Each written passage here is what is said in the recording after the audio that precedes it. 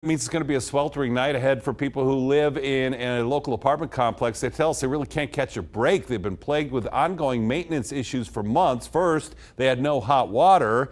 Now, an opposite problem. News 3's Georgia Costa has been talking with people who live at the Tides on Wynn apartments who say they are now without air conditioning in this record heat wave.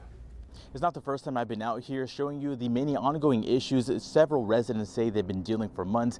And since our stories aired last month, many residents say their issues were fixed. However, others say that solution was only temporary.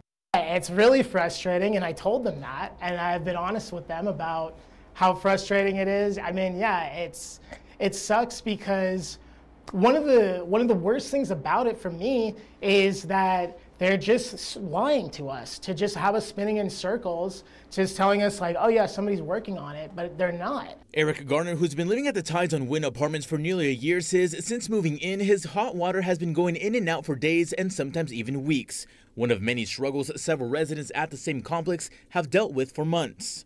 They don't fix nothing. You can call for maintenance. It takes maintenance two or three weeks to get to you. Air conditioning problem. People not having hot water. Sewer backing up.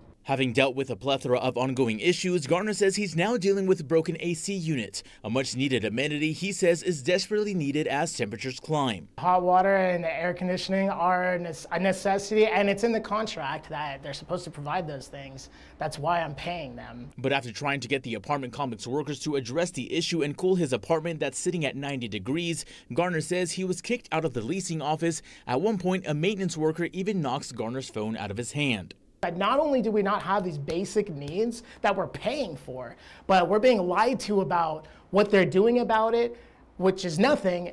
Now, residents like Garner say they plan on moving out once their lease is up. Now, they also tell me they plan on withholding rent until that issue is fixed. Now, I also tried going to the office, who, which the door was locked, but once I looked inside, I made eye contact with some of the workers who were hiding behind their desk and refused to come to the door. Now, I also reached out to FPI management, who oversees the property for a response, and I have done so several times, but I'm still waiting on a response back. But for now, reporting in Las Vegas, Georgia Costa News 3.